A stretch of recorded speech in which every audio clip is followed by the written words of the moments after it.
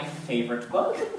Broadway musicals of the 1940s. No roommate to bother me. How could it get any better than this? Oh, hi, Rod! Hi, Nicky.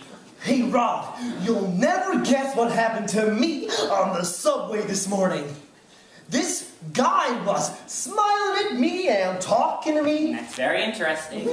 He was being real friendly, and I think he was coming on to me. I think he might have thought that I was gay. So, uh, are you telling me this? Why should I care? I don't care. What do you care for lunch today? Well, you don't get all defensive. Look, why do I care about some gay guy you met, okay? I am trying to read.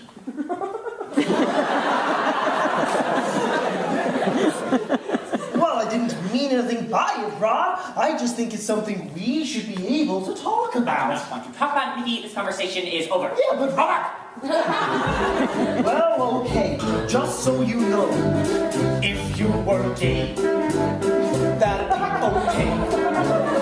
I, because uh, hey, I like you anyway, because you see, if it were me, I would feel free to say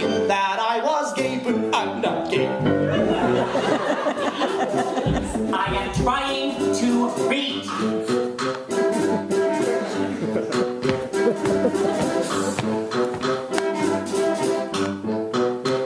What? If you were queer! I'd still be I'm trying to read year after year because you're dear to me.